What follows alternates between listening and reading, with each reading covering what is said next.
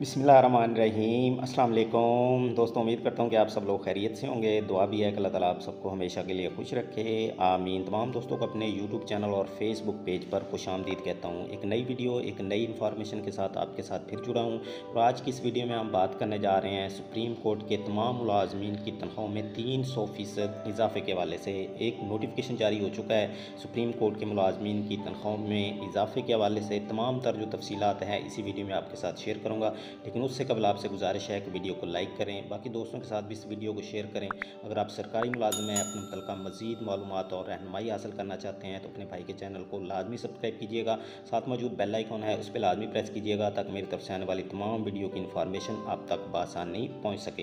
दोस्तों, supreme court के तमाम मुलाजमीन को तीन बुनियादी तनख्वाहों के बराबर स्पेशल जुडिशल अलाउंस देने की मंजूरी दे दी गई है। नोटिफिकेशन इस वक्त आपकी स्क्रीन के सामने है। चीफ जस्टिस ऑफ़ पाकिस्तान ने सुप्रीम कोर्ट के तमाम मुलाजमीन व अफसरान को तीन बुनियादी तनख्वाहों के बराबर स्पेशल जुडिशल अलाउंस देने की मंजूरी दे दी है। डिप्टी रजिस्ट्रार एडमन सैयद शेर अफगान के दस्तखत से इकतीस मई को नोटिफिकेशन जारी किया गया है। नोटिफिकेशन के मुताबिक जुडिशल अलाउंस जो कि 24 नवंबर 1993 को मंजूर किया गया था, जिसे बाद फ्रीज़ कर दिया गया था, लेकिन अब उसको बहाल कर दिया गया है। अब चीफ जस्टिस ऑफ़ पाकिस्तान की इजाज़त के बाद तमाम मुलाजमीन और अफसरान साल में एक दफ़ा ये अलाउंस हासिल करने के अहल होंगे। मुलाजमीन अदालत उज़मा के लिए मुख्त बजट में से मुजवज़ा मारात हासिल कर सकेंगे, जो अगले हुक्मनामे तक जारी रहेगा।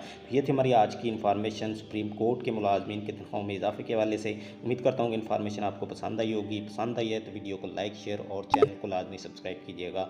मुझे नेक्स्ट वीडियो तक के लिए इजाज़त दें। अपनी दुआओं में याद रखिएगा। अल्लाह हाफिज़।